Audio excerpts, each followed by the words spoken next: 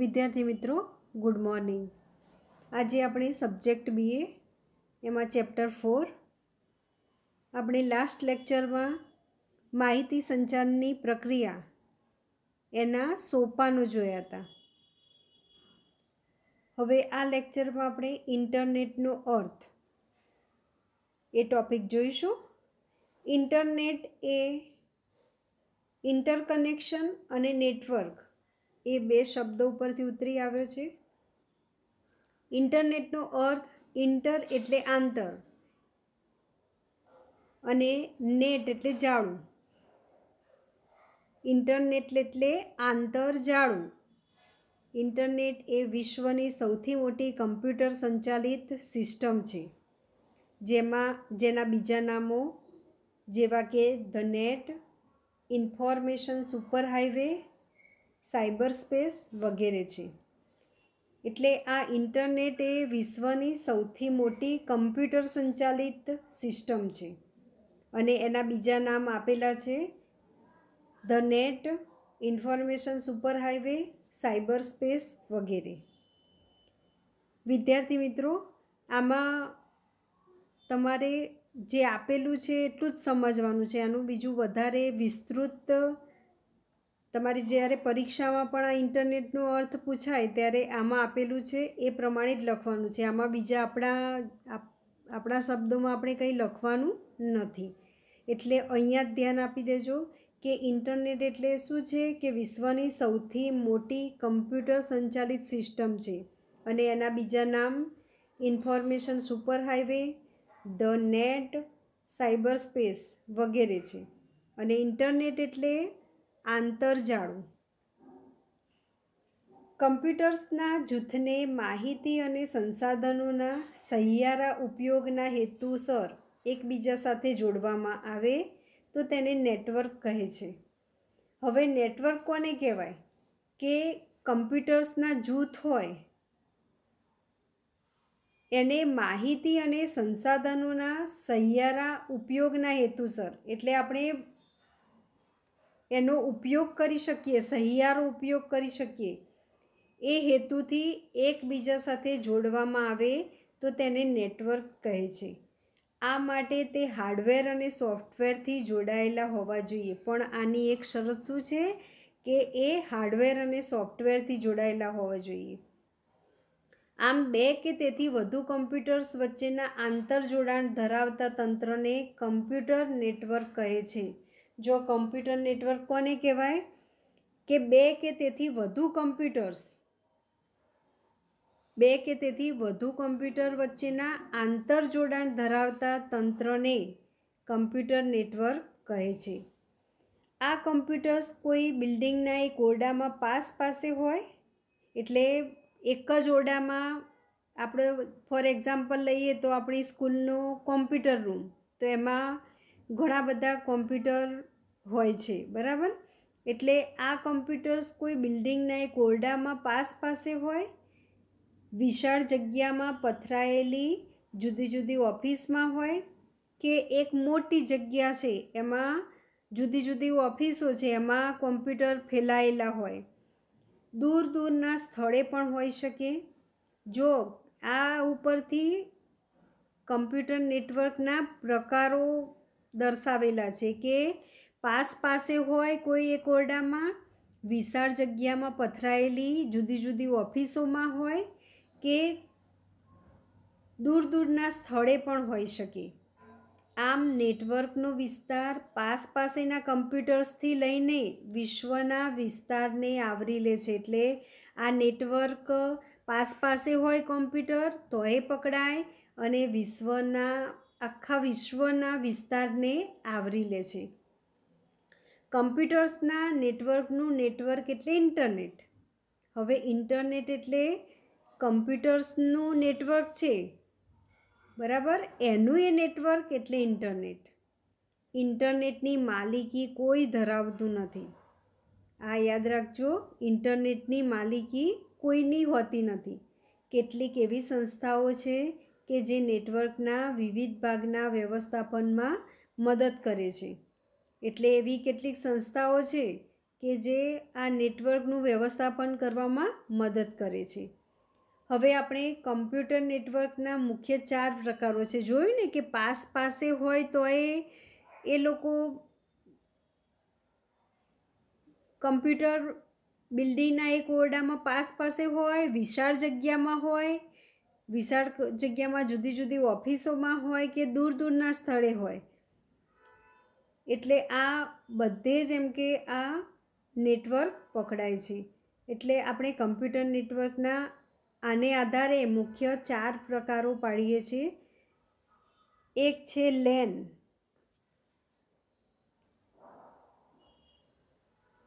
Lane એટલે local area network. આ તમે યાદ રાખજો, લેનનું ફૂલ ફોર્મ, એલ એટલે લોકલ એરિયા અને એન એટલે નેટવર્ક. એટલે કે એક નિશ્ચિત સ્થળ પરના કમ્પ્યુટર્સ એકબીજા સાથે વાયરથી કે વાયર વગર જોડાયેલા હોય. આ લેન નેટવર્ક છે, એ નિશ્ચિત કોઈ સ્થળ હોય, એના કમ્પ્યુટર એકબીજા સાથે વાયરથી કે વાયર વગર જોડાયેલા હોય છે. હવે કેન કેન એટલે કેમ્પસ એરિયા નેટવર્ક. એટલે એક કેમ્પસ પરના કમ્પ્યુટર્સ એકબીજા સાથે જોડાયેલા હોય. સી એટલે કેમ્પસ. એટલે કોઈ એક કેમ્પસ પરના કમ્પ્યુટર હોય, એ એકબીજા સાથે જોડાયેલા હોય અને કેન. હવે મેન મેન એટલે મેટ્રોપોલિટેશન એરિયા નેટવર્ક. એટલે કે એક શહેરના કમ્પ્યુટર્સ એકબીજા સાથે જોડાયેલા હોય છે. એટલે આને મેન કહેવાય. હવે ચોથો પ્રકાર છે વેન પહેલો લેન કેન મેન અને વેન વેન એટલે wide area network wide wide ઉપરથી જ આપણને ખબર પડે કે બહુ મોટી જગ્યામાં પથરાયેલું હોય. એટલે કે વેન એટલે વાઇડ એરિયા નેટવર્ક કોઈ જ ભૌતિક સીમા ન હોય, તે રીતે વૈશ્વિક રીતે કમ્પ્યુટર્સ એકબીજા સાથે જોડાયેલા હોય છે. બરાબર? આમાં વેનમાં કમ્પ્યુટર્સ એકબીજા સાથે વૈશ્વિક રીતે જોડાયેલા હોય. આમ આ જુદા જુદા પ્રકારના નેટવર્કને ઇન્ટરનેટ કહેવામાં આવે છે. એટલે લેન એટલે લોકલ એરિયા નેટવર્ક કેન એટલે કેમ્પસ. એ ખાલી કેમ્પસના જે કોમ્પ્યુટર્સ હોય, એ એકબીજા સાથે જોડાયેલા હોય. મેન એટલે એક જ શહેરના કમ્પ્યુટર્સ એકબીજાની સાથે જોડાયેલા હોય. અને વેન એટલે વૈશ્વિક રીતે કમ્પ્યુટર્સ એકબીજાની સાથે જોડાયેલા હોય છે. અને આમ આ જુદા જુદા પ્રકારના નેટવર્કને ઇન્ટરનેટ કહે છે. હવે આપણે આ કમ્પ્યુટર નેટવર્કના ચાર પ્રકારો જોયા.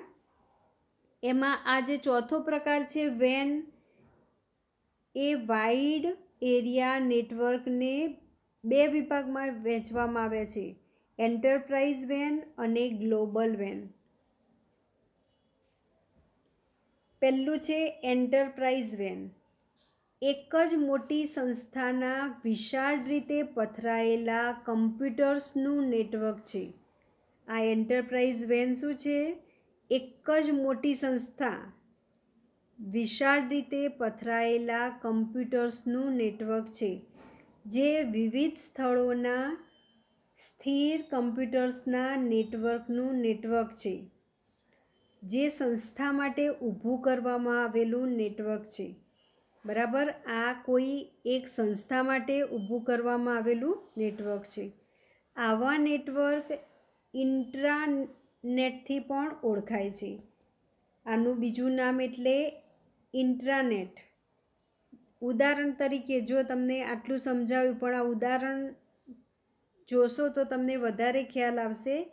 ઉદાહરણ તરીકે, ભારતીય રેલવે સમગ્ર દેશમાં તેની કચેરીઓના કમ્પ્યુટર્સને આ રીતે જોડે છે, એટલે કે એન્ટરપ્રાઇઝ વેનથી જોડે છે. એટલે તો આપણે રેલવેની માહિતી, કંઈ પણ માહિતી આપણે ટિકિટ બુકિંગ કરાવી હોય ને જોવું હોય, તો આપણે ગમે ત્યાંથી એને જોઈ શકીએ છીએ. એટલે આ જે ભારતીય રેલવે છે એને સમગ્ર દેશમાં તેમની કચેરીઓના કમ્પ્યુટર્સમાં, કમ્પ્યુટર્સને આ એન્ટરપ્રાઇઝ વેનથી જોડે છે. હવે ગ્લોબલ વેન. આ વિશાળ નેટવર્ક છે.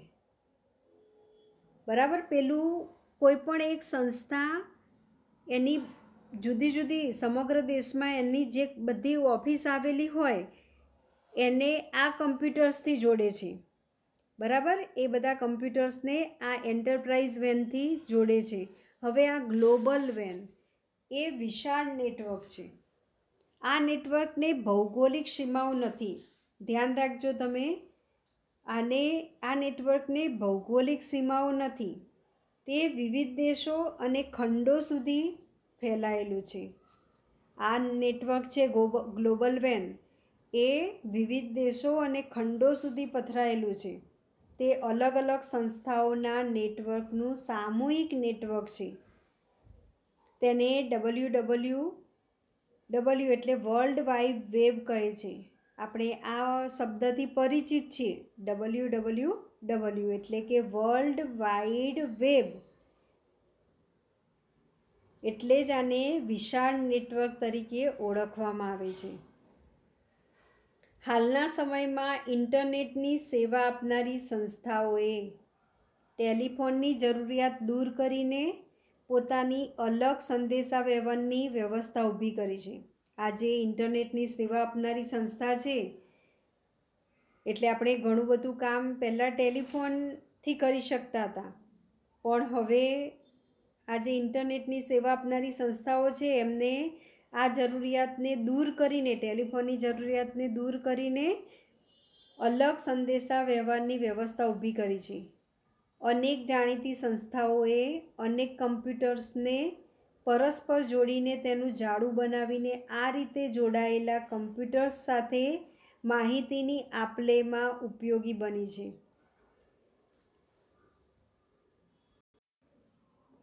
આ જે જાણીતી સંસ્થાઓ છે, એમને શું કર્યું? કે અનેક કમ્પ્યુટર્સને પરસ્પર જોડ્યા ઘણા બધા કમ્પ્યુટર્સ હોય, એને એકબીજા સાથે જોડી એનું ઝાડું બનાવ્યું. એટલે કે તેને અંદર અંદર જોડી દીધા. અને આ રીતે જોડાયેલા કમ્પ્યુટર્સ સાથે માહિતીની આપલેમાં ઉપયોગી બને છે. આમ ઇન્ટરનેટ એટલે કોઈ એક મધ્યસ્થ સંસ્થા દ્વારા ટેલિફોનની મદદથી ટેલિફોન એટલે કેબલ કેબલ એટલે વાયર એટલે આ ટેલિફોનની મદદથી કે મદદ વગર સંદેશા વ્યવહારના ઉપગ્રહની મદદથી સંદેશા વ્યવહાર માટે રચાયેલું કમ્પ્યુટર્સનું જાડું એટલે ઇન્ટરનેટ. એટલે ઇન્ટરનેટની વ્યાખ્યા અહીંયા શું કરી? ઇન્ટરનેટ એટલે કોઈ એક મધ્યસ્થ સંસ્થા દ્વારા. યાદ રાખજો, કોઈ એક મધ્યસ્થ સંસ્થા દ્વારા ટેલિફોનની મદદથી, એટલે કે કેબલ વાયરની મદદથી કે મદદ વગર સંદેશા વ્યવહારના ઉપગ્રહની મદદથી સંદેશા વ્યવહાર માટે રચાયેલું કમ્પ્યુટર્સનું જાળું એટલે ઇન્ટરનેટ. એટલે સંદેશા વ્યવહારના ઉપગ્રહની મદદથી. આ બધું નેટ ને બધું ચાલે, શું હોય? સેટેલાઇટ ઉપગ્રહથી બધું ચાલે. એટલે સંદેશા વ્યવહારના ઉપગ્રહની મદદથી સંદેશા વ્યવહાર માટે રચાયેલું કમ્પ્યુટર્સનું જાળું એટલે ઇન્ટરનેટ. ઇન્ટરનેટ દ્વારા શબ્દ આપણે લખીને પણ ઇન્ટરનેટ દ્વારા કંઈક મેસેજ મોકલી શકીએ કે માહિતી મેળવી શકીએ. ચિત્ર એટલે પિક્ચર. દ્રશ્ય શ્રાવ્ય એટલે દ્રશ્ય શ્રાવ્ય એટલે ઓડિયો, વિડિયો અથવા વિઝ્યુઅલ. દ્રશ્ય, વિઝ્યુઅલ તેમજ શ્રાવ્ય, ઓડિયો. અંક એટલે ન્યુમેરિક વગેરે સ્વરૂપમાં રહેલી માહિતીનું આદાન પ્રદાન કરી શકાય છે. એટલે કે આપણે આ માહિતી ઇન્ટરનેટ દ્વારા મેળવી પણ શકાય અને માહિતીનું નેટ દ્વારા આદાન પ્રદાન પણ કરી શકાય. કઈ કઈ માહિતી? શાબ્દિક, ચિત્રો, દ્રશ્ય શ્રાવ્ય, એકલું દ્રશ્ય, એકલું શ્રાવ્ય, અંક એટલે ન્યૂ, નંબર. બરાબર? આ આ બધા સ્વરૂપમાં રહેલી માહિતીનું આદાન પ્રદાન આપણે ઇન્ટરનેટ દ્વારા કરી શકીએ છીએ. ઇન્ટરનેટ દ્વારા મુખ્ય ત્રણ પ્રકારના કાર્યો થાય છે.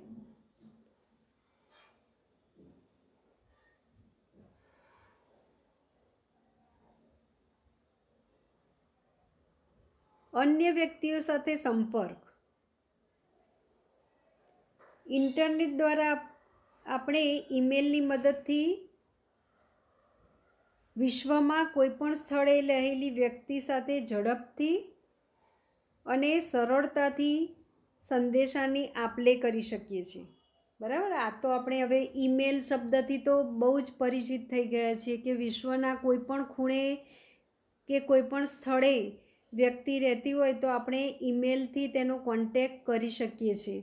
અને ઝડપથી અને સરળતાથી સંદેશાની આપલે કરી શકીએ છીએ. ઇન્ટરનેટ દ્વારા વિશ્વમાં રહેલા ઉપભોક્તાઓ સાથે એક જ રૂમમાં બેઠા હોય તે રીતે વાતો કરી શકાય છે.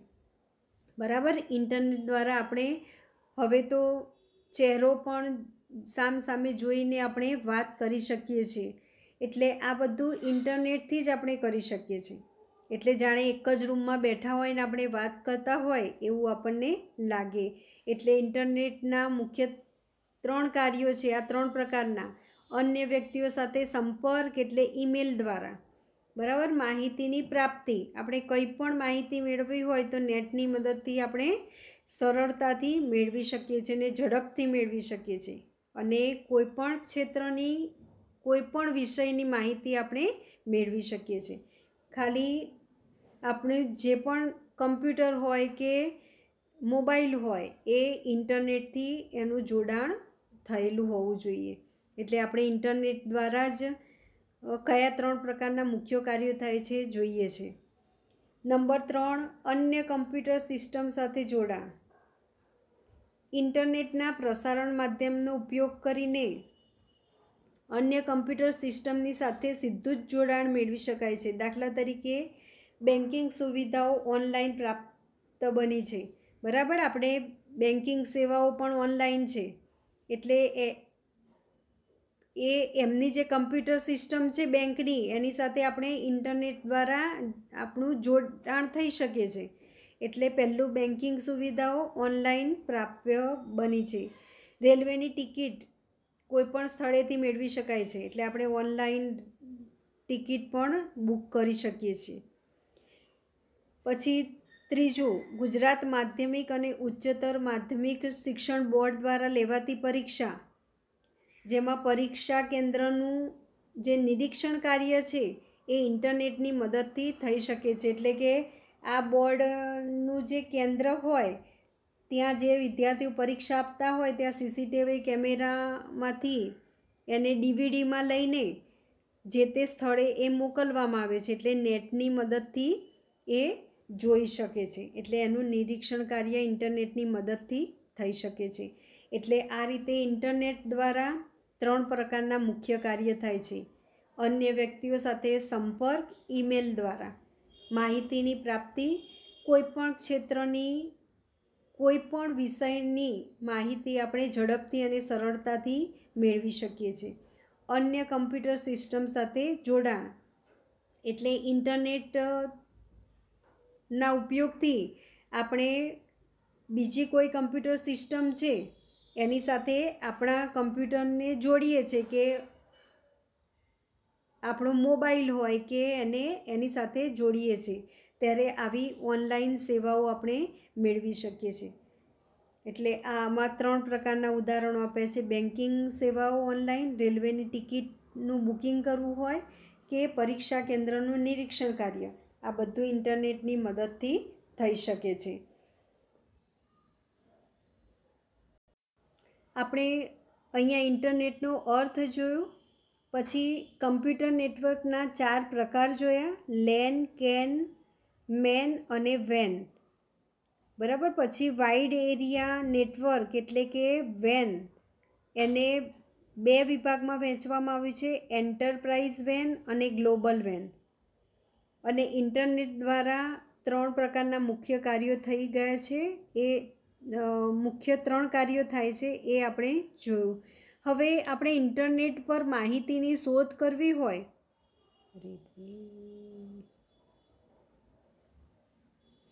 તો એના કેટલાક સ્ટેપ અહીં આપેલા છે. કે પહેલું સ્ટેપ છે બ્રાઉઝરની પસંદગી કરવાની. એટલે અહીંયા ઇન્ટરનેટ બ્રાઉઝર ખોલવું. ઇન્ટરનેટ પર એન્ટર થયા પછી કોઈ પણ ઇન્ટરનેટ બ્રાઉઝર ખોલવું. અહીંયા ઉદાહરણ તરીકે આપ્યું છે ફાયરફોક્સ બરાબર? અને એ અહીંયા આકૃતિમાં બતાવ્યું છે.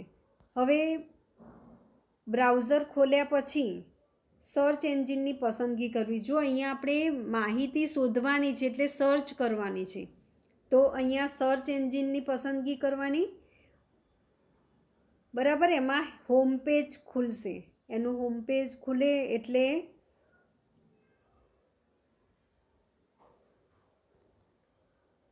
આ રીતે એનું હોમ પેજ ખુલશે.